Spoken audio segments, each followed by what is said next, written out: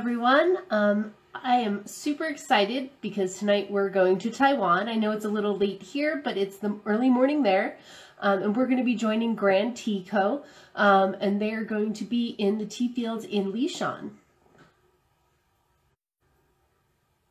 Um, let me see if I can figure out a way to invite them. It's been a while since I've done one of these. Um, and I know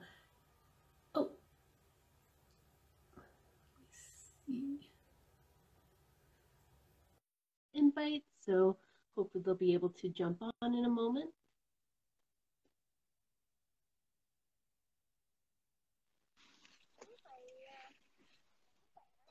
Hello. Hello there. Hi, thank you so much for doing this. I'm super excited. Yeah, no problem, not at all. As you can see right now, it's uh, early in the morning. It's 10 a.m. right now. It's 10 p.m. here. yeah, just basically uh, switching the day and night. Yep.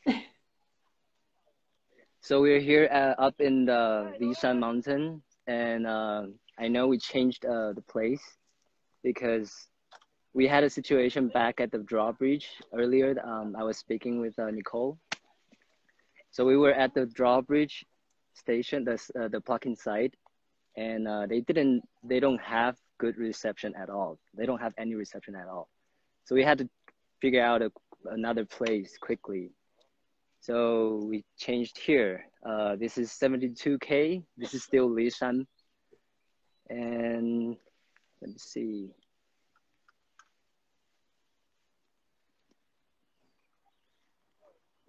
You guys can see live. Wow. And that is the, the sound of the single rail cart because it, the angle of the mountain is really steep, as you can see. So they have to use the, the rail, the rail car to get the teas down. And we took the ride too. Wow. We took the ride up. We were down at the 1600 meters and we came up via the rail, the rail cart to uh, right now, right here is 1700. It's really steep here. Yeah, definitely. And you see over there the gray area, that place mm-hmm. over here, that is the dam. It's pretty okay. dried up, so. How has the weather been this year? Uh, it's it's really the we had a we had really hold on really loud right now. So we've been having water shortages this year. And that the past two years we had a uh, frost problems and this year water problem. But fortunately this site is uh, good enough. So we can actually pluck early. And the official plucking is going to be concentrated in the next two weeks.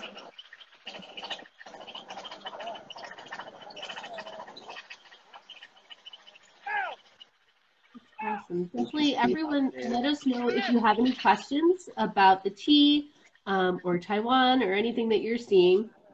Um, what kind of tea are they harvesting right now? Um, basically, if you, most of the, I, I would say about more than 80% of the high mountain teas are oolongs. Like we call oolong, but uh, mm-hmm. specifically Qingxin oolong. Okay we do also have um, at the other side of the mountain, um, that part. That part is usually Jingshen.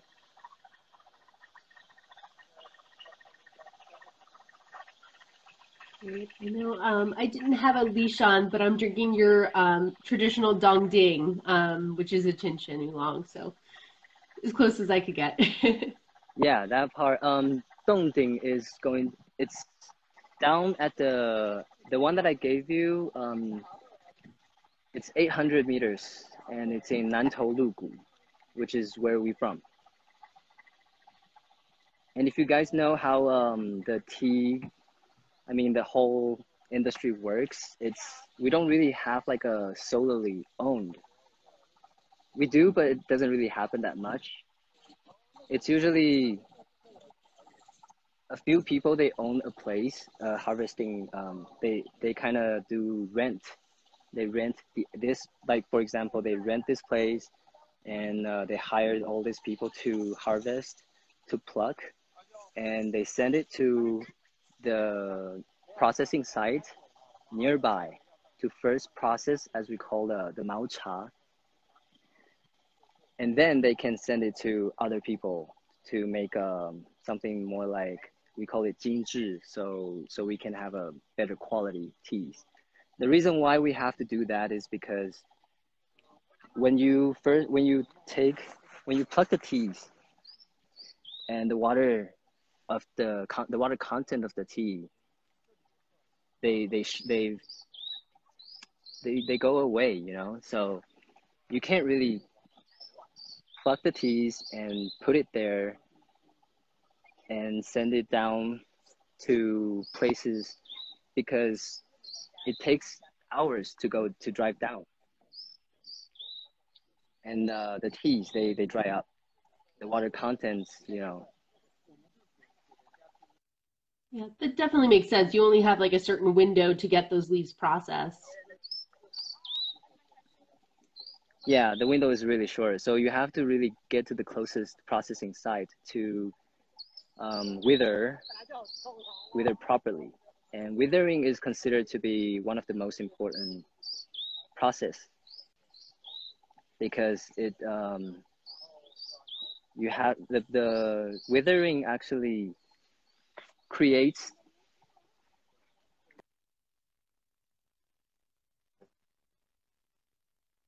I think we might have frozen. Um, we'll just wait a sec. Hopefully this signal will come back. Um, definitely let me know if anybody has any questions. You can put them in the comments or hit the Q&A button. Oh, okay, we're back again. Yeah, sorry. Just lost you for a sec. I love hearing the birds in the background. yeah, the weather is actually really nice here. Um, it, the weather forecast was really bad. Like it was going to rain, and hmm. uh, we got here yesterday, and the sun just lit right up. Awesome, cleared up for the us. Is it hard to harvest the tea when it's raining? Uh, we actually we don't really do harvesting when it rains because the water content messes up everything. Okay. It gets really wet, and uh, if you if you pluck the teas when it's wet, it damages the the the, the whole process. So we don't plug at all when it's when the even when the um, when there's fogs. Um, I mean, not like when the when there's fogs, but more like when there are still um, really like wet in the area. Hold on.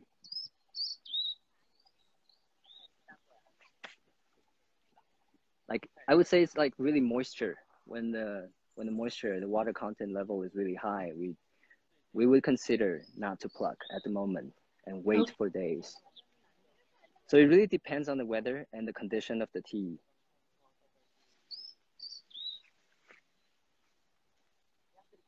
that definitely makes sense um, and I'm sorry, I know you said earlier, but a few folks have joined us since. What about what elevation are we at right now? Um, the elevation we add uh, right here I'm standing is one uh, 1700. And this place is called Xinjiayang.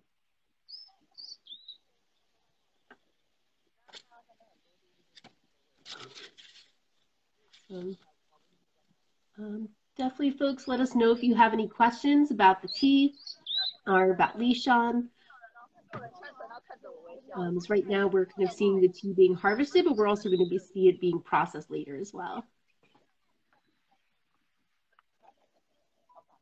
And so when they're um, as they're kind of plucking the tea, what is the plucking standard that they're looking for um, for this particular tea? It's when it's hand picking, it's pretty much always um, what we, what you guys call the one heart two leaves. Is that what you guys okay. call? That's the basic standard. And sometimes some other area they do have other standards, but it really depends on what kind of tea you know you want to do. Like for example, the, the one that you're drinking, Dongding. Sometimes they do harvest more more one more leaf, so three leaves.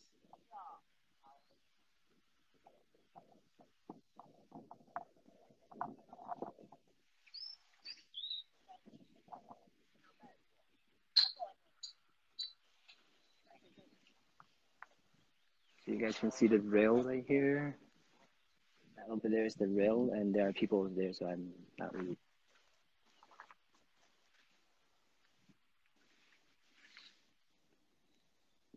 Up Wow, um, there is the water.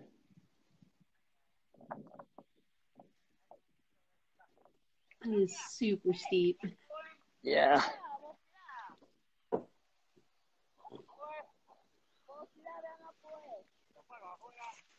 If you walk up from down there where we headed up, gee, That would be a hike, I'm sure. yeah, it's a really he- heck of a high. So we had to ride uh, the the the monorail, the monorail cart, and that's how they um, get the teas down too.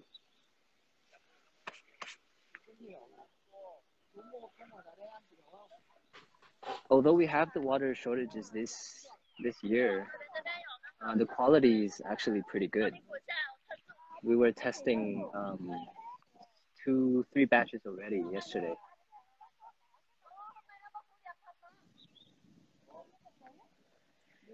Good to hear that we've got some good tea to look forward to.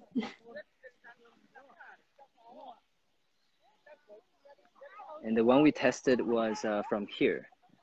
And uh, two another one is from what is that called? And uh, we were actually plucking at the other side called drawbridge. That place is really good too. Oh and the other one is called the maria ba that one's also pretty good all these areas i'm mentioning is all within the lishan region It's amazing how different, even within kind of one region, you can have a lot of different, um, you know, results in the tea.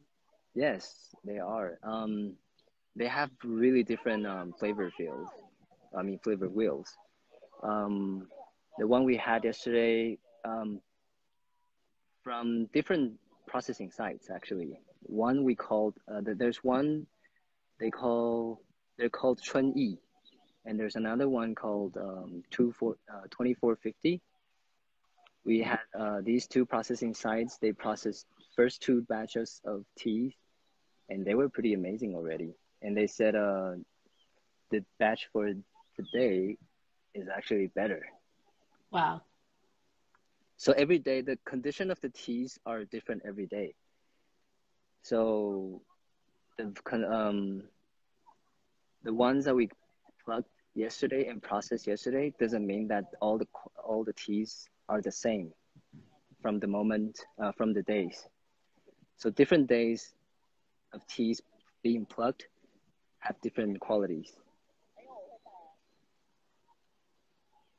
So most Definitely. people they would wait for uh, a few days. Like last night, it would, there were a lot of people driving up actually because um, we pluck during the daytime and we process it right away. And usually we have the first mao cha um, in the afternoon or by night, and we actually do it 24 hours a day Wow.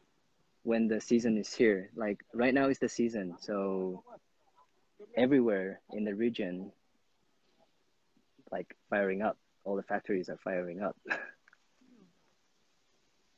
can imagine. Um, I know this is going to be a spring harvest, obviously, but how would it differ if, say, it was like the fall harvest? we would say the the harvest for spring is usually better, but it really depends because they're they're quite different actually. For for the fall harvest, we would call it. Um, sometimes people focus on the dongpian. Um, those ones they have different kind of. We call it qi. So it's like the mountain taste, mountain flavor kind of thing. It, it really, it has that um, unique flavor from the high mountain area only.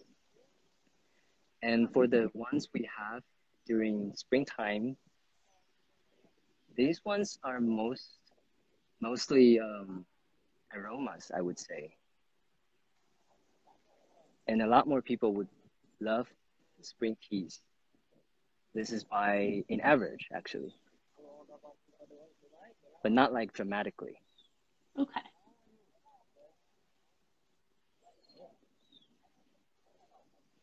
But we do have less um, teas this year because of the water shortages.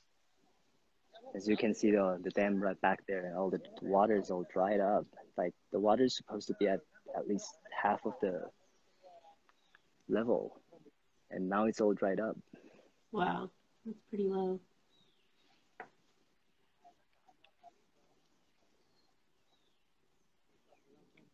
Yeah, any questions, guys, you may have? Yes, definitely. Anybody watching, definitely feel free to let us know anytime if there's any questions that you have. Uh, we are in a tea field in Lishan right now in Taiwan. Um, so right now they're harvesting, but we're going to take a look at processing as well.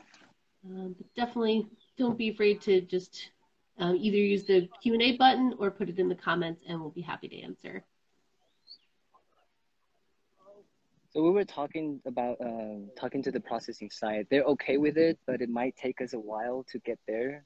Okay. Um, we scheduled another processing site earlier because they're really close. They're like 15 minutes away from each other, and uh, that plucking site is really good. They have really really good um, quality tea. And the site, they're they're both really good processing sites it's gonna take us a while to get there. So we might have to take a break and we head over. Or if you guys want to, we can schedule another one next week because all these two weeks it's going to be concentrated processing. So you guys want, we can come up anytime and we can do it. Yeah, we can definitely. I think it would be great to do one next week where we could see um, so and we can we there's another there's another um we're we're actually scheduled to go to another place. It's called Tianchi, which is which is a lot higher. wow. It's more like it's it's uh, I think it's more than 2400. It's even higher than 24. Can't, can't imagine how steep that would be. Yeah, and uh, the the process site is right next to it. So if you guys want to, we're actually scheduling, making the appointment, and uh, yeah, we're going we're going over. Awesome. Yeah, definitely let me know, and we'll set up another live so that way we can take a look at that. Um, so Teacups Full had asked, um, how did they actually pick the leaves, and is it generally only the top? It's generally only the top two. Uh, these ones are because we plug from uh, up to up to down there, from up to down. So they have these. I don't know if you guys saw. Um, we have a video actually in uh, on my on, on my IG, the Grand Crew IG. Uh, there's this thing that they wear at the tip of their fingers. There's uh, two blades right next to it, and they wear it right at the the finger, it doesn't really matter which one. It, it really depends on how you like how you like it. And they just wear that, and they go to the leaves and they just pluck it, and uh, they pick the ones that has one uh, the one heart two leaves, what you guys called. They only pick that part and then they cut it through, and then they put it in the in the bag. I let me see if I can get go down there and show you live how they do it. And these people are really shy, so I'm I won't be able to show you their faces. oh, that's okay. Um, I know um, Mira Mexi Pup asked, "Is the weather very warm over there?" It's really hot, actually. Looks like it's quite sunny. Yeah. Yeah, it's uh, and the sun is really oh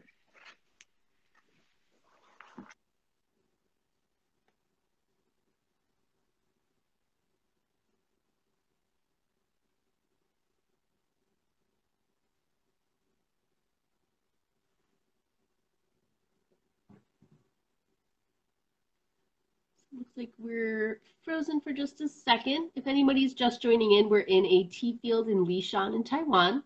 Um, let us know in the comments or using the Q&A button if you have any questions about what you're seeing um, or about, um, you know, Taiwanese oolong tea in general, um, and we'll be happy to answer those for you. Uh, just give it a minute. He should be right back. Oh, we lost Grand Crew. Um, hopefully they'll be able to hop back in. Hi, Gia.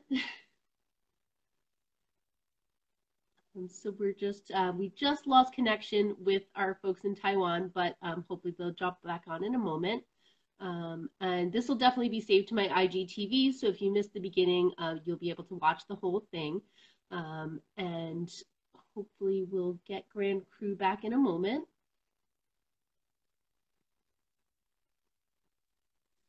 Hopefully he will be right back.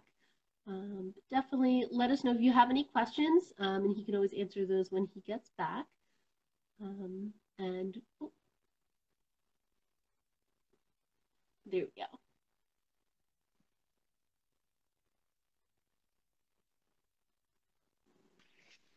There we go, back, back again. Yes, I agree, Jan. Lishan Oolong is yummy. Really close up. Wow.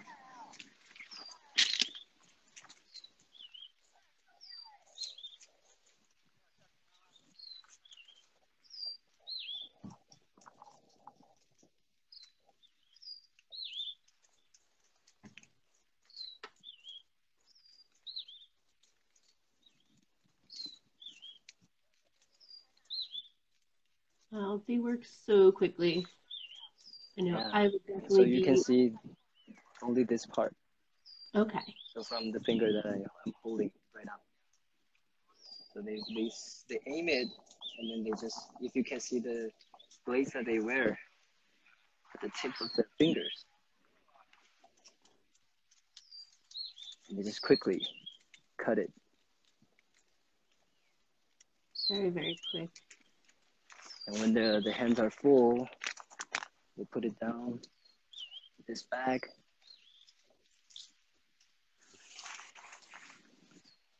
Yeah, it's, the sun is too bright. How much tea would, like, say, one person usually harvest in a day? Uh, we calculated it.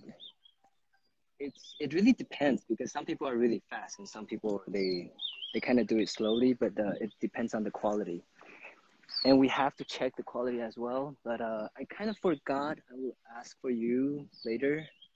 Oh, sure. I remember that they can actually earn up to about the, the, the fast ones. They can earn up to about like a hundred dollar U.S. dollars a day if they're fast. Wow. Um, Mila, that's, where that's actually a lot. Definitely. Um, so um, Milad asked um, if we're very high up. Um, I think you said we're about 1,700 feet up. Yeah, right where I'm standing right now, it's 1,700 feet. I mean, not me, not feet. Actually, it's meters. Meters, yeah. I know. I'm always stuck on uh, not metric system. it's super steep, Jan. Um, earlier he showed us there's like a monorail that they use to bring the tea leaves up and down the mountain. Um, this is the yeah. monorail right here. There you go. It's right there. Let's go all the way up there, and sometimes we have to kind of use our hands to climb up too because it's too steep. Yeah. You can see how they stand.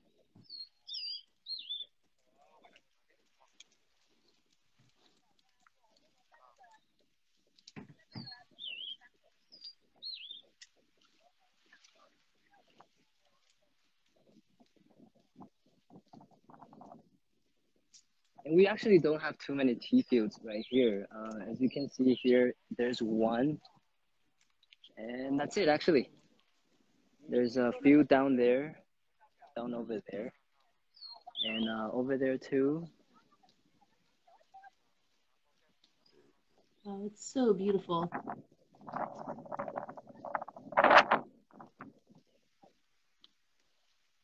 The weather is really nice today. It's actually supposed to rain.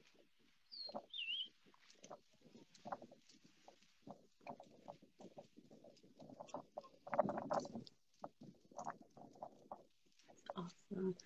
Uh, definitely, folks, let us know if you have any questions um, about Taiwanese tea um, or what we're showing here. Um, we were just discussing earlier, we're going to plan another live so that you can see processing. Um,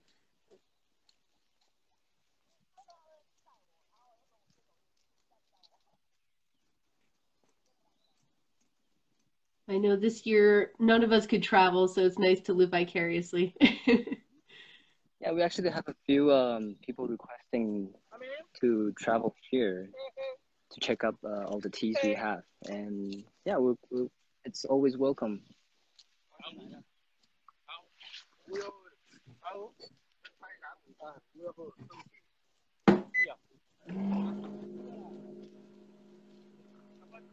The owner is right there.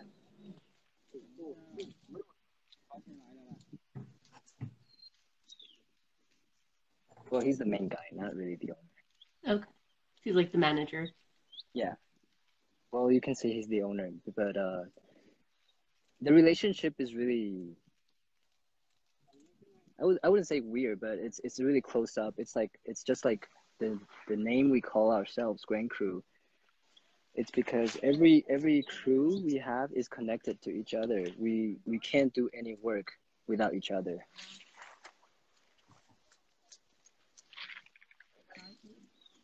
Right, I'm I'm in the way, so I'm gonna have to climb up a bit. Okay. And here we have uh, the scale. So we use the scale to check how many,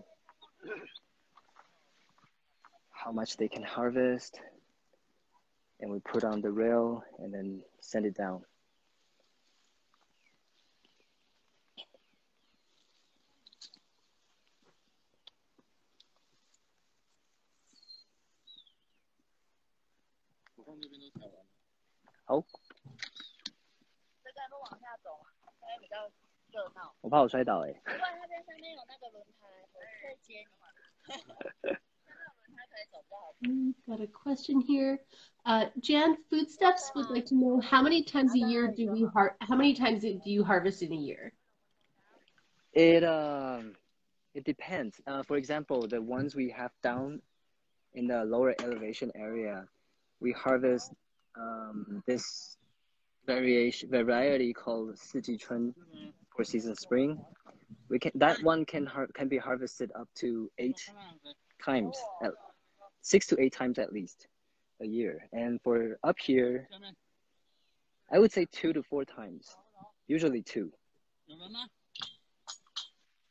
Okay. We also have a question. Approximately how many acres um, is the field? And they also said that it's gorgeous. Acres. I know that's like sure. measurement Yeah, the measure problem. Uh, let me ask. 不好意思，请问这边大概多大？三甲地，三甲地是几 acre？三甲地是几什么？A 球是什么 acre 那个我是什么我也不我不知道怎么？acre 算。是什么？ I have to calculate it. 三甲地。It's all the measurement problem.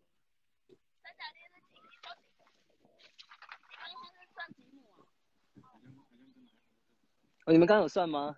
你说亩吗那嗯，acre 不是亩。 ？acre 是什么？你要告诉我单位，我 I'm not sure actually. Sorry guys, I can't really That's answer that okay. question, but I'll find it. I'll find out about it. 我帮你上面三 we know it in Chinese. We know in Mandarin it's called 三甲地。 Okay. 三面积是多大？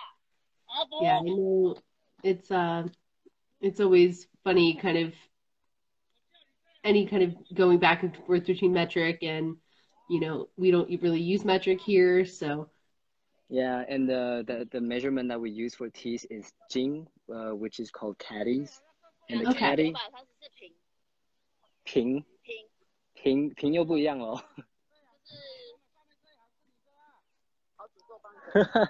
没关系，我等下再找一下。Yeah, they calculated into another uh, metric system, but it's still not how we use it in the U.S. Yeah. 平方公尺吗？平方公尺是 square foot，这边有三万平方公尺。三万，so thirty thousand square foot. Okay. That That's gives my us, like, a guess, general actually. idea. It does look like it's pretty large. It is actually. So that's a guess, but uh, 七点一九 acre，咦七点一， seven acre, 对，大概 Okay. 七点二吧。 about seven point two, seven point one ish. Hello, 的 Forest Hill Tea. So we've got Forest Hill Tea watching from Sri Lanka. 七点二啊。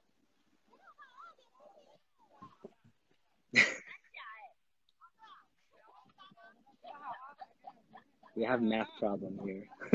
Yeah. 问题吵架。诶，他们大概一个人可以采几斤？一个人才几斤啊？一天？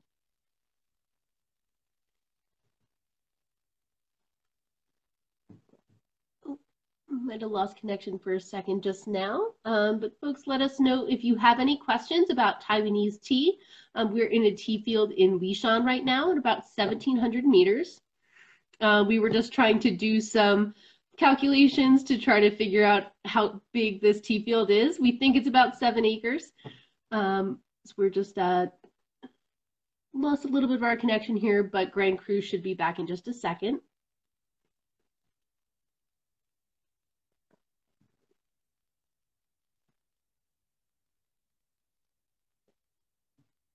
Is anybody drinking tea? I know it's late by me, but I'm drinking uh, Grand Crew's um, traditional Dongding. Uh, Forest Hill, this is um, this estate is on Lishan Mountain in Taiwan.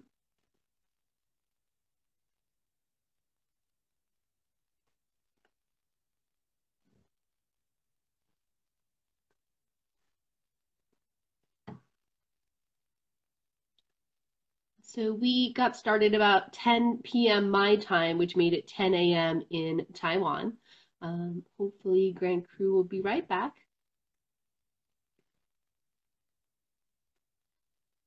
Let us know if you have any questions at all. Oh, lost them, uh, but hopefully they'll be right back. Um, do let us know if you're drinking any tea um, and where you are watching from.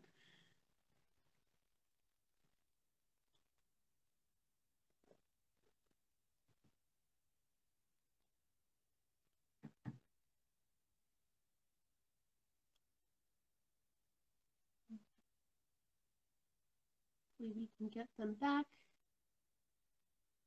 Um, I know they had to change the um, location that we were shooting at because the place they wanted to film from, there was no signal. Um, they make oolong tea. Um, so the what they were harvesting there is a Chin oolong. Um, and so that was um, we're going to be hopefully doing another live in a week or so, and we're going to show processing. Um, let's see. Hopefully, we can get Grand Crew back. Um, I know the tricky thing is tea grows on mountains, and cell phone signals are not always super great on those. Um, but hopefully, they'll be able to hop back on in a moment. Um, for anyone just hopping on, um, this will be saved to my IGTV, so that way you can see it from the beginning. Um, is where we just lost connection with them, uh, but Grand Crew is join, joining us from a tea field um, on Lishan Mountain in Taiwan. Um, but hopefully they will be back on in just a moment.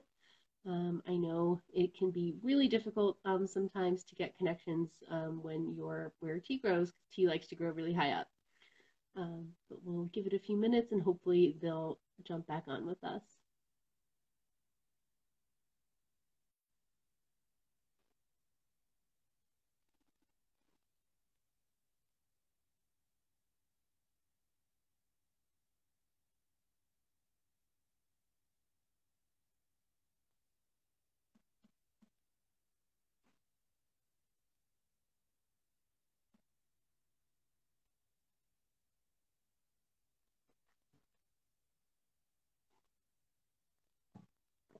Um, so I am drinking uh, Grand Crew's traditional Dongding. Um, it's from a different mountain in Taiwan, but it is made from the same variety.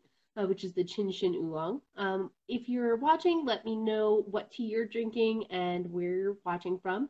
Uh, we just lost connection with Grand Cru, so hopefully they'll be back on in a moment. Um, I will definitely ask them that. I'm actually not sure. Um, I think they might do seeds, but I'm not super positive on that. So we'll definitely ask as soon as we can get Grand Crew back on with us.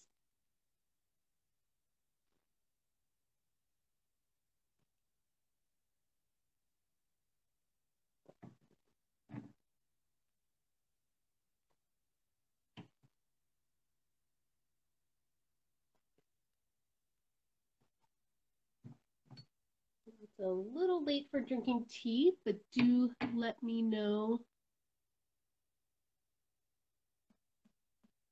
if you're drinking any tea.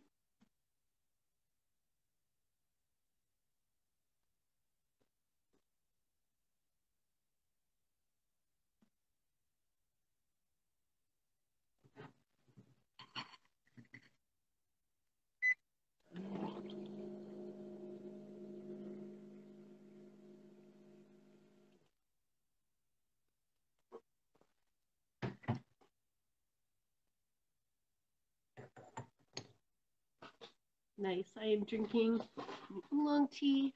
Just spilled water on my desk. So let me just clean that up. Trying to reach my water heater there. Um, there we go. Grand Crew's back.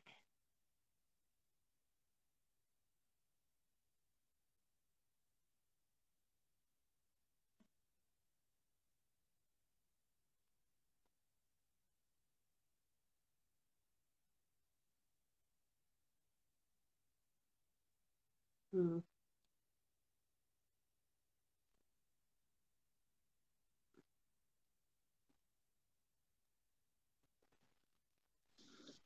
Hi There we go. Back again. Sorry, I think the phone is a little overheated, so I had to Um, I had yeah. to cool it down a bit. no problem. Um, Yeah. so we did have a question. Um, Forest Hill Tea wanted to know if the tea um, where we are is is it grown from seed or is it um, like cloned? Cloned or seed? So let's uh, let me answer uh answer the question a bit um a little more. This is a pretty long answer. Yeah, no worries. So the tea we have up here, the it's the the life for a tea plant here. As you can see, these these ones they we only use them for about 30 years top because after about it's not like the the plants in uh in China the the longer they live the better they are uh, the teas in Taiwan it's actually the younger they are the better they are the longer they live um, up to 20 years 20 to th- about 30 years they get older and the teas the the plant gets uh, more I would say like they get more woody. The taste of the teas, they get more like woodish. You taste wood flavor and stuff. So to answer your question, they usually buy the seeds and they, if this place um, is up to like 20 to 30 years, they have they have to start considering changing all all, all of these. They have Wow. to get a it's a big um, construction actually work if they have to change everything here. So they grow from seeds, but uh, the seeds you can buy it from uh, the TRES, the T-R-E-S, or anywhere they sell the seats. It's not only the the government system they have it. They sell it. Uh, they also have it at a we call it the Nongwei Hui, um, and all other places. It it really depends on what kind of tea you want to grow, and you go to the places and ask if you want Qingxin Oolong, you want Cui Yu, or the new, the newly um, the newly the new one that we have is called the 24 the number 24 I don't think they have an English name yet for it. They announced the new one, the, the new variety, number 24, last year. does that answer your question at all? Yeah, yeah, no, I definitely think that does. Um, it's so interesting how different, you know, tea can be grown in different places. Um, is it's hi Anna. Um, it's definitely, you know, like in some places, you know, it's definitely emphasis is put on how old the tea trees are. So it's interesting to hear that, you know, in Taiwan you really don't have that. So this is the the basic the standard. Um, usually two leaves. So the up here from um, high mountain area, we can pick up to three leaves. So this is pretty much the standard we have. Okay. And I just asked one of the people who har- who's harvesting. They he said he can do uh he can do 50 to 60 kilograms a day. Wow. I think top is 80. That's the record. Yeah, that, that sounds like a lot, but it probably doesn't turn into a whole lot of dry tea once you're finished processing. Yeah, all the all the water contents and uh, when when we roll it into uh, bowl likes, it's going to be so pretty much all this becomes like this much. Yeah. uh, Forest Hill, this is a Qingxin oolong. Um, so it's um, you know, you can make any tea plant into any tea variety, but typically it's used for oolong.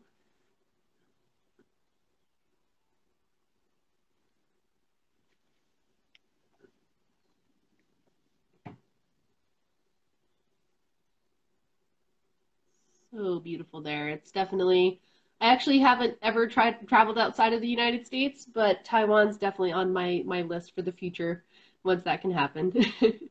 Yes, of course, and it's really safe here. We all the safe code we have, and all the people um, abiding the laws, so making it a safe place here to travel. That's great.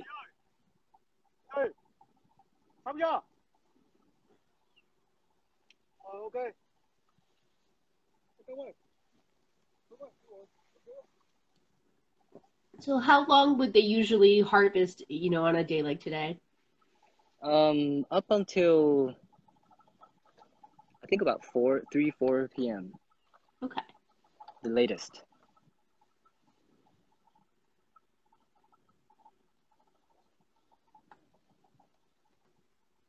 And because we don't really have a lot of people harvesting um, the man the manpower, so usually they have uh, the same people doing all the harvest here.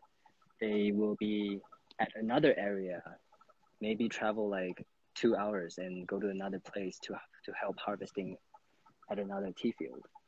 Wow. So that's how that's that's why I'm saying grand crew means we have to have a lot of different crews working together to make the teas.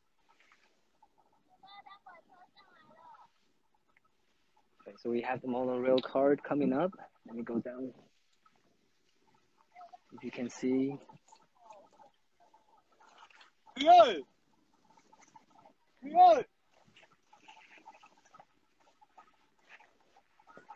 Anh if you can hear the monorail. Let me go down there and show you.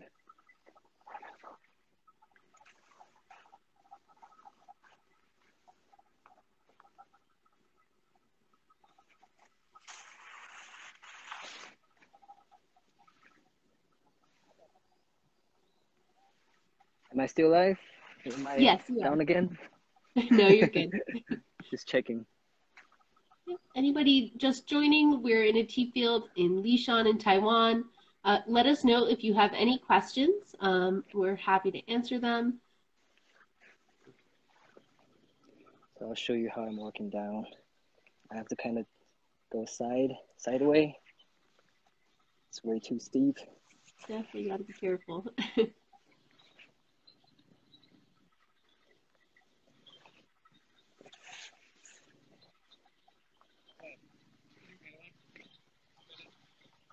上车。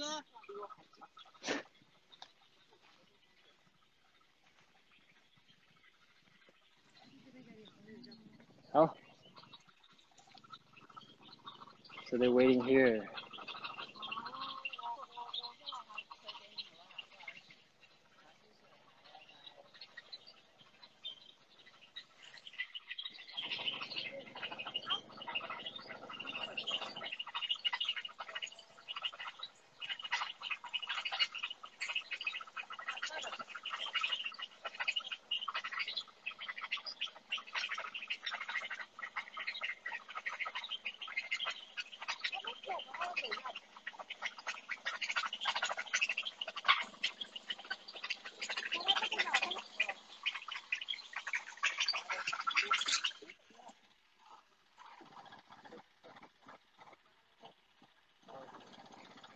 Trying to figure out where to put all the teas. Load everything up. Yep. Yeah, after all, you have to be safe. Definitely. This is pretty much all the main human power we have.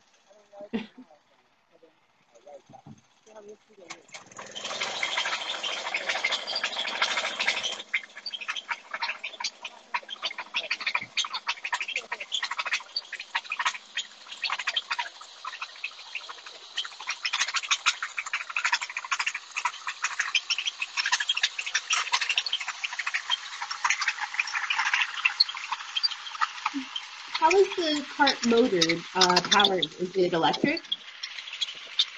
I'm sorry? It's a little too loud How, here. how is the kind of um, rail powered? Is it electric? Oh no, it's actually um, pure gasoline. Okay. It smells a bit.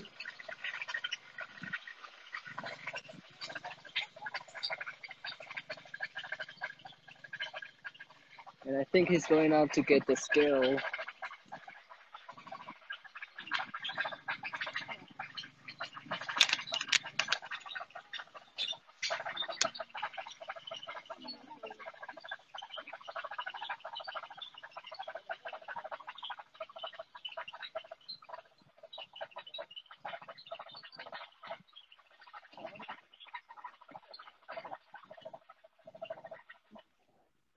Seems like it's pretty windy up there.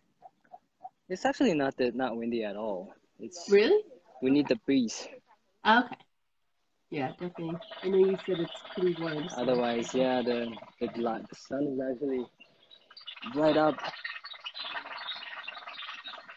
right up on our head. Ah. Here we go. So Anna wants to know hot. what are your thoughts on the next generation of tea pickers in Taiwan? I know that's a big question. Wait, hold on. it's loud. Sorry.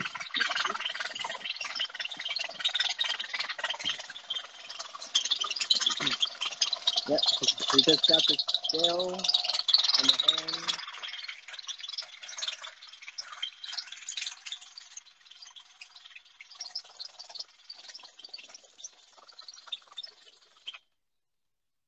What was the question again? um, what are your thoughts on the next generation of tea pickers in Taiwan? That's a pretty good question. Yeah.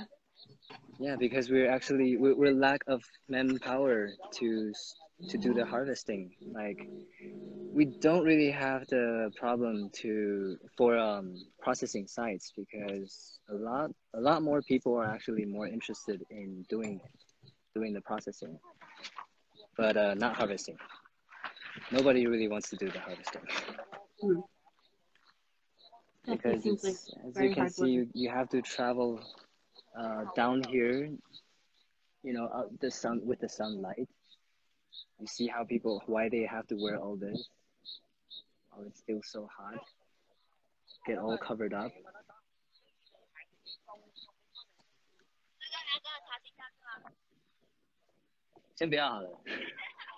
先不要好了，而且都很大声，那会很大声。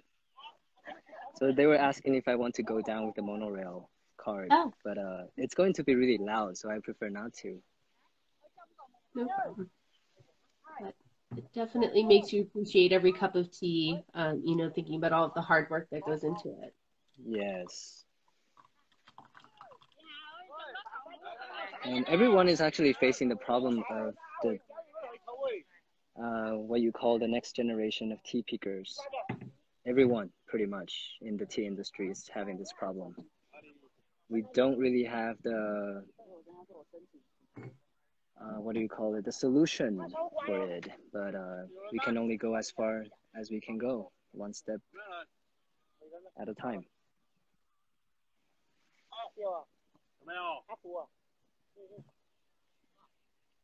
như hại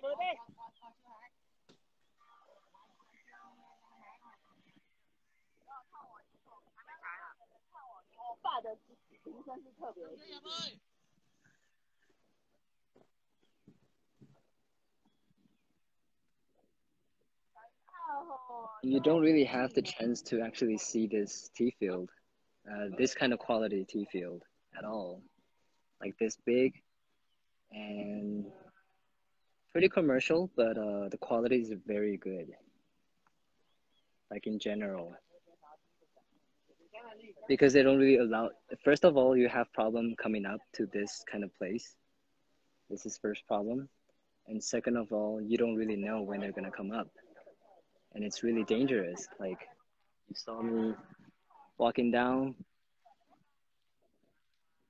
actually slipped earlier. Oh no.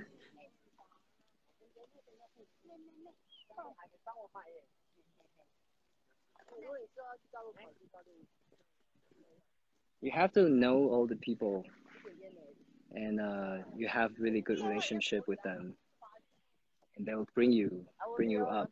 And uh, if you want to broadcast like this or even take pictures, they kind of you have to ask for permissions as well.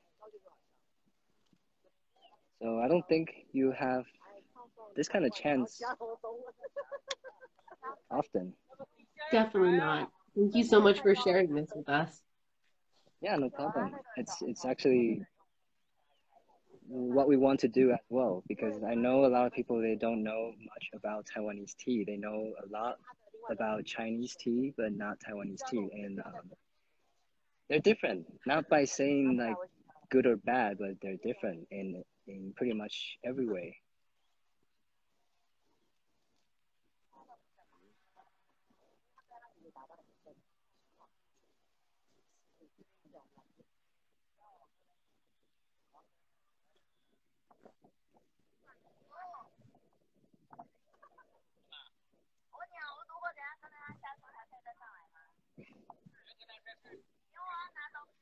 So I know um, Lishan um, can be translated as pear mountain. Um, and somebody Yes. told me once that it's because they grow a lot of pears there. Um, is that true? Uh, no, we actually have a lot of cabbages here. Okay. So I guess pear mountain sounds better than cabbage mountain.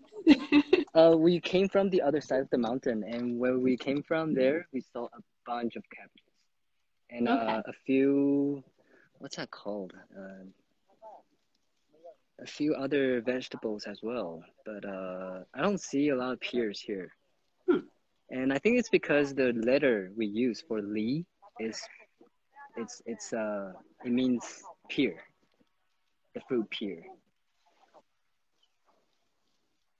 If that makes sense. Yeah, no, that does. Um, so another great question from Anna. What are some visual indications between a commercial and non-commercial tea field? Um, she's curious if you can describe what the soundscapes are like between the two. Oh, that's a good question too. So first, um, visual indication. Let me start with uh, the basics first. So the higher area elevation is usually determined to be not so commercial because we have two different kind I would say there are two different kind of levels for commercial. One is being we have uh, three different levels in um, down there where we are at the 400 elevation in it's it's all actually in the same area Nantou it's only different elevation from down there is from uh, 400 meters and up here is 1700 and uh, we usually use machine plucking down at the 400 elevation. And up here as you can see everyone is you know it's hand plucking because you have to know you have to know everything here. And uh, we only harvest twice making it really rare. So you already have all these things as the condition for for them being commercial commercial or high quality commercial if that makes sense Definitely. yeah so lower elevation we grow uh, the varieties for lower elevations are usually four season springs um, those kind of um, varieties and up here i would say from from 1000 meters and above they are they are called um, high mountain oolongs and from up there from 1000 elevation uh, 1000 meters high usually they grow Qingxin oolong so there you have two reasons already for them to be different And I know Anna had mentioned soundscapes. I know I keep hearing birds singing in the background. Would that be different in, like, say, a more commercial field? Um, I wouldn't say so, actually. That's interesting. I never really thought of that. And uh, a few other reasons, or I don't know if you can see, uh, there are a lot of insects flying over here. And it's quite, as you can also see, like you see all this uh, grass here it means that it, they don't have a lot of pesticides used. I mean, they use some, but uh, if you if you don't use them at all, you would have production problem. And if you want to go on to the pesticide thing, there's another long story about it because there's always people debating about pesticides use. But if you don't use them, how can these people live? You know. It's true. Yeah, and then uh, if they, the pesticides used are okay and how much they're using, that's also the problems that we should consider as well. And there are also if the pesticides are water soluble or if it's some other types of soluble content, that's also the thing you should consider. You should ask. Because if it's not water soluble, then you shouldn't worry about it.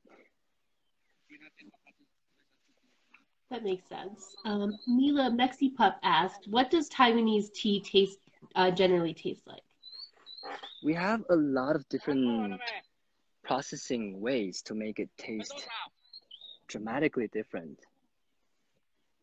So you can do for for the famous we have is the one we, we're collecting, we're harvesting right now is Qingxin Oolong.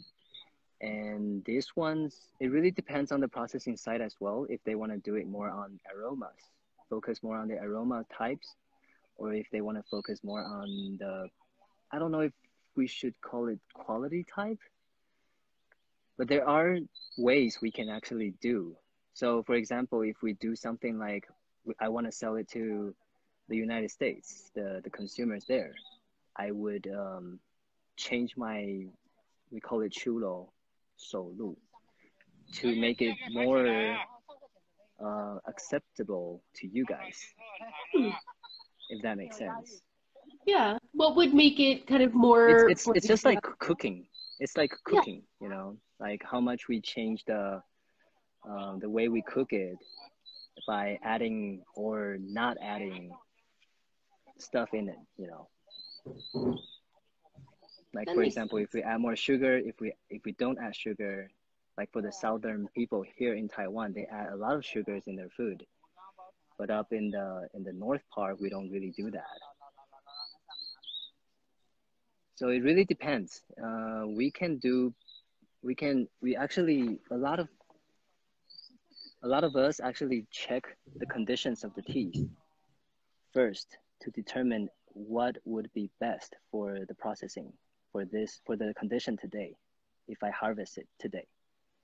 And the next day when i come back and look at it it would probably most likely be different. When i touch it when i smell it you know when i harvest it. So every day is different. And we would determine and make choices every day. I know um, many of the Qingxin oolongs that I've had kind of have like a fruity note to them um, that I really enjoy.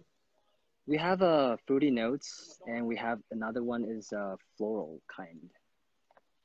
So you can actually put put it this to two types of teas, if you really have to make a um, like a different.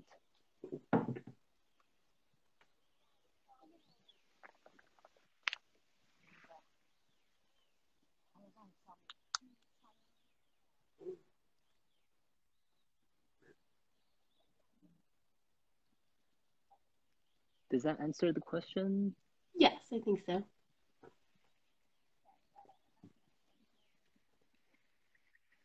Definitely let us So know the, the ones the the teas we harvest today, it will probably be sent to different processing sites for uh for sample, and um, different processing sites would uh, give you different results.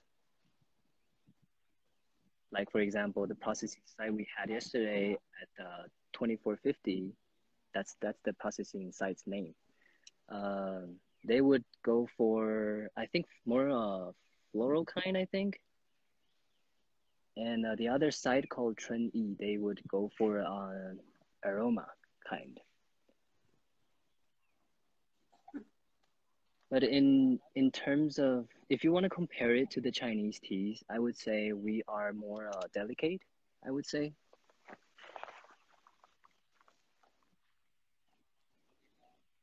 I would definitely agree with that.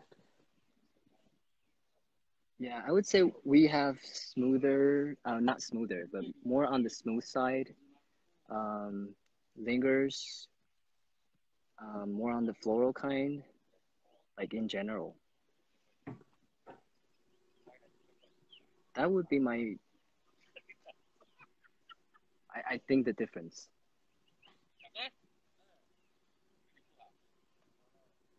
In between the Taiwanese teas and Chinese teas.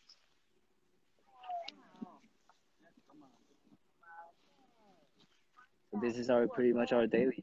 So we pluck the teas, we harvest it, we take the monorail cart back down, and then we go to the processing side, uh, and then we do the processing all day long.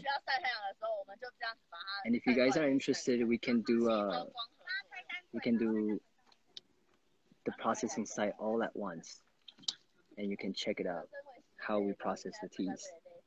Definitely. That would be great to see. I think a lot of people, you know, like you you read about um, how a tea is made, but I think it's another just kind of see it being done. Yes, it's totally different actually.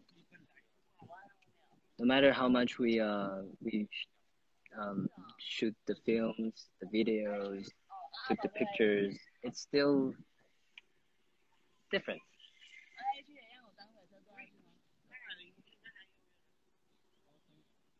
And I would put it on another day though, because Oh yeah. it's it's going to be another. it- It's pretty late for you guys, and it's going to be a long drive for us because it's actually not the the one that we actually scheduled, so it's kind of far. Oh sure. Yeah, no, we'll definitely set up another day so we can show that. Um, so, does anybody else have any questions? Very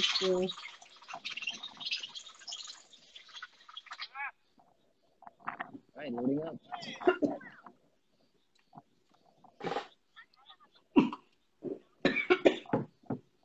Careful.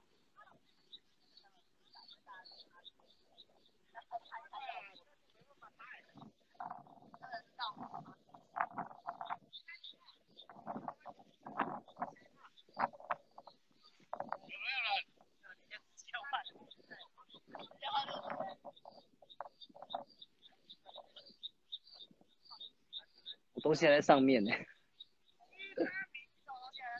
我的包包。Yes, I have to go up. Everybody's down here gathering to go down. Okay. I have to go up. if you guys can see. Well, so they've like built steps in. Ooh.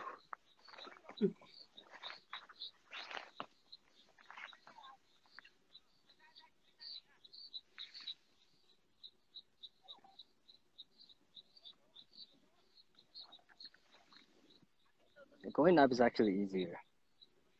Really? Yeah, you can see if you saw me walking down, I have to take my steps sideways.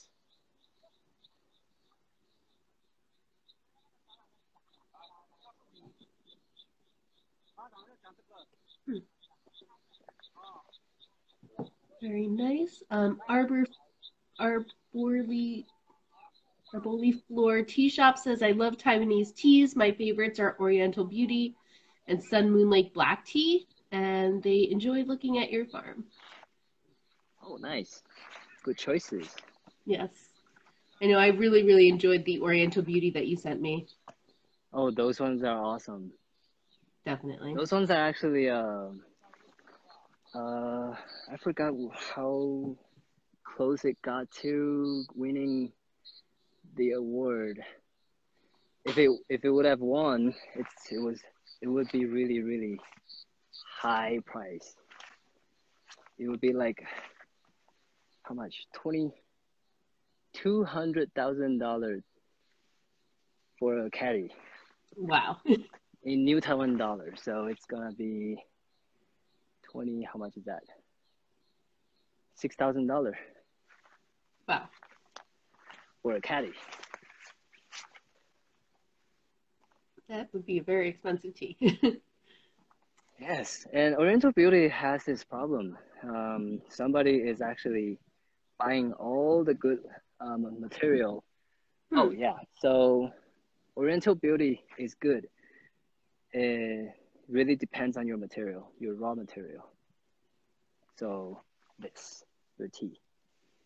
You have to have good tea, good raw material to have really good Oriental Beauty.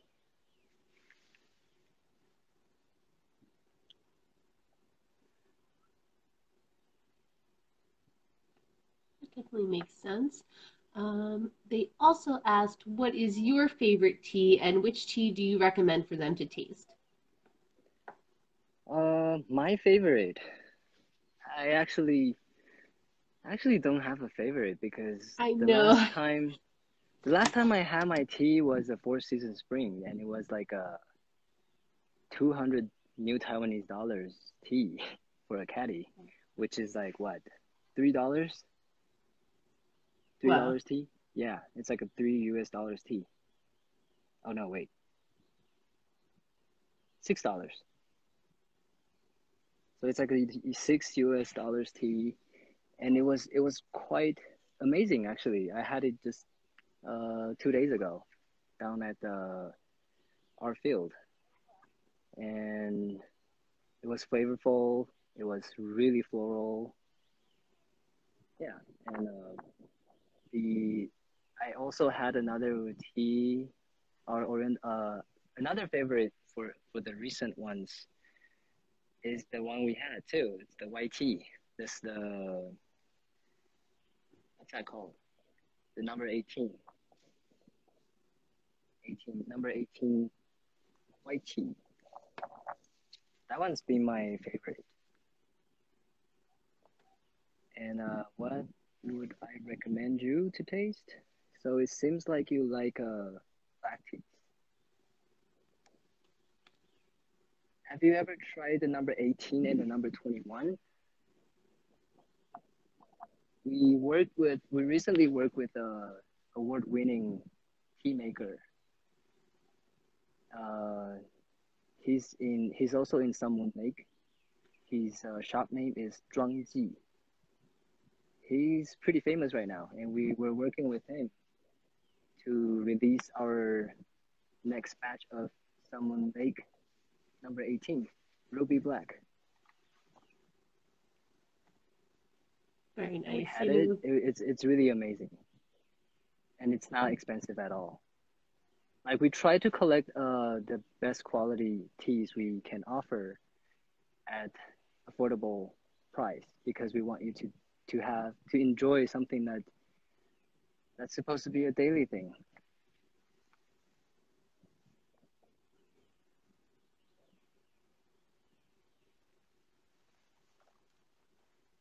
Definitely. If anybody watching is new to Taiwanese tea and you like black tea, um, the Sun Moon Lake tea is definitely a really, really great place to start. Um, is there definitely some of my favorite black teas. Sun Moon Lake uh, Ruby 18, it has this uh, strong um, minty. It's known to be minty and what cinnamon. Yeah. Yeah, and uh, the one we have, it also has that, uh, what's that called? A eccentric taste. So, I know a lot of people don't like this, uh, that kind of, I don't know if you if you should call it aggressive. So we actually t- tested it, and uh, the one that we just work with, uh, Zhuangji, it doesn't have that strong eccentric thing, like really aggressive. Okay. Like something that hits you right away, you know. So that one is smoother. Sorry, I'm a little, I'm climbing, so I need to catch my breath. no worries. So the Ruby 18 Black, we are going to release. I hope you guys would be interested, and uh, I'll also send mail you one, Nicole. Or Awesome. for um for the new season batch is pretty much all coming out. So springtime we harvest from high elevation first, and then we work towards we work up. So the next two weeks we are going to work uh, on higher tea fields, higher elevations. So the lower batches, lower elevation already pretty much all done.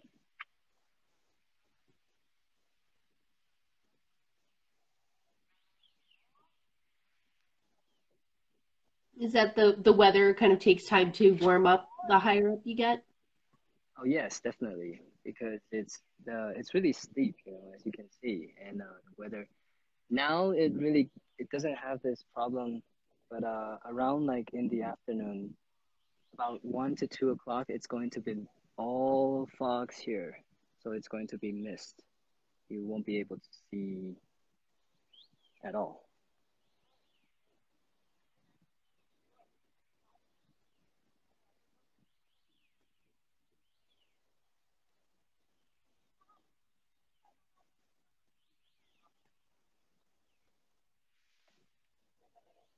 I think that the mist has a lot to do with the taste of Taiwanese tea as well.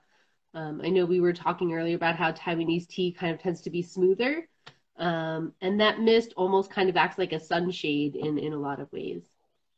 Yes, yes.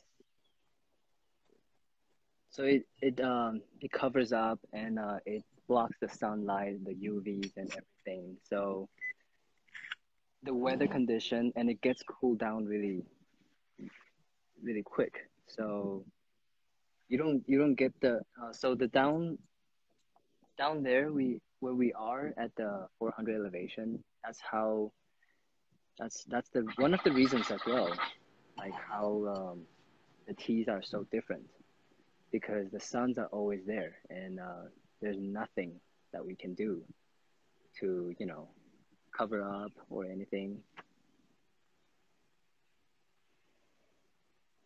so it grows really fast and that's how you can actually and well the variety also is also one of the factors. But uh, that's also uh, the sunlight is pretty much the main reason how you can grow fast how the teas can grow fast. But in general if you have um, if you're in the higher elevation because of the weather when the temperature grow, uh, drops it actually slows down uh, the speed that they grow so the content um, of the teas um, they they're actually concentrated. So they grow slower. So they generate more flavors, more um, more what do you call it? Um, more things in the teas, you know. So that's how they're different. Definitely. Um, I think of it's almost kind of like um, like in Japan, how they shade the Gyokuro. It's kind of like a, a natural version of that, Yes, um, where it really like concentrates all the polyphenols and everything that's in the tea. yes, that's how they do it.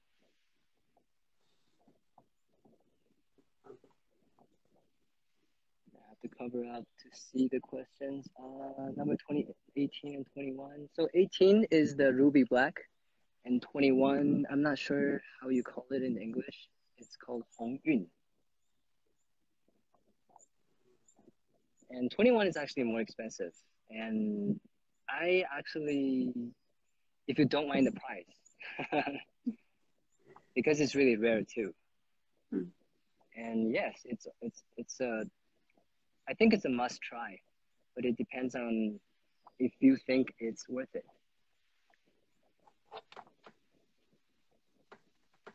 Otherwise, I would I would say just go for the 18. 18 is good enough.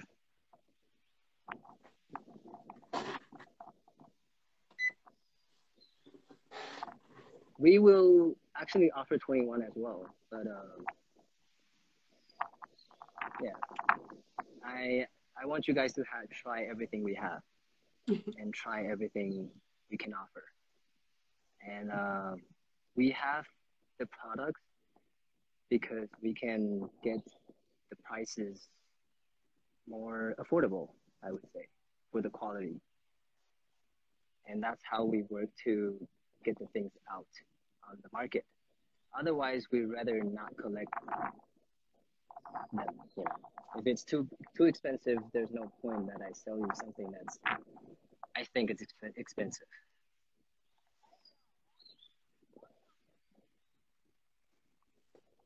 That definitely makes sense. Um, We're more practical. with- Yeah, with tea, there's like a a tipping point of like you do have to pay more to get good tea, but there also comes a point where like paying more more doesn't always like work out, um, you know, for for benefit. yes. It, it, there's no right or wrong. It it's just personal opinion. Definitely. If you think it's worth it, it's worth it. And you can see probably uh, there's already clouds covering Mhm. up, forming, Yeah, and shades.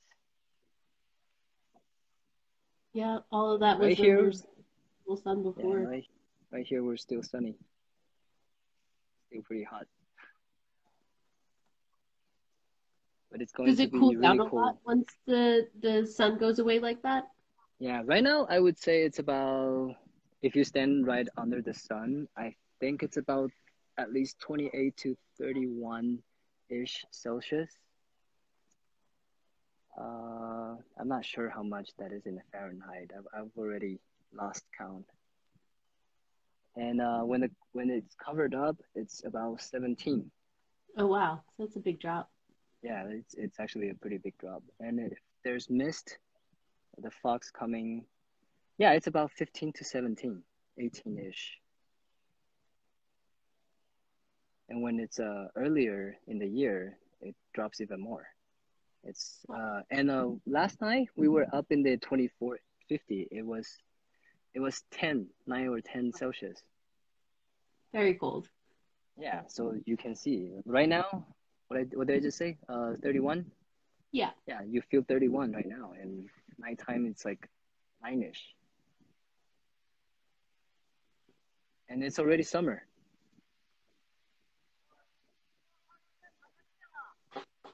So we have this calendar thing. Um, I think it was yesterday. It's uh, the calendar for the for us for the for the farmers.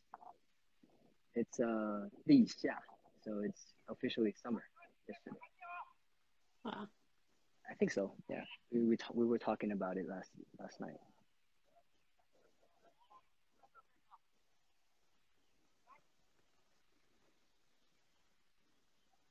I think they're going down right now. Ah. You can see climbing up, climbing onto the cart. Do you see? Yeah, yeah, definitely. Yeah, because I'm I'm holding up high, so I can't really see the screen. Oh yeah, it's good for you to see.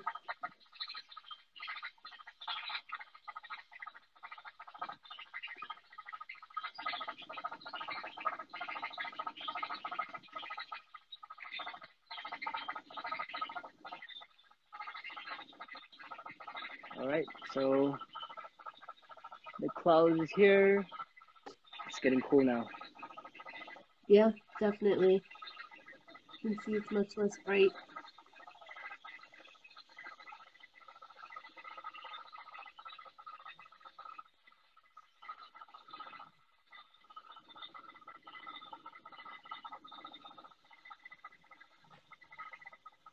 So we're up here in the 17-ish, 1700-ish, and you see up there, even higher. Definitely.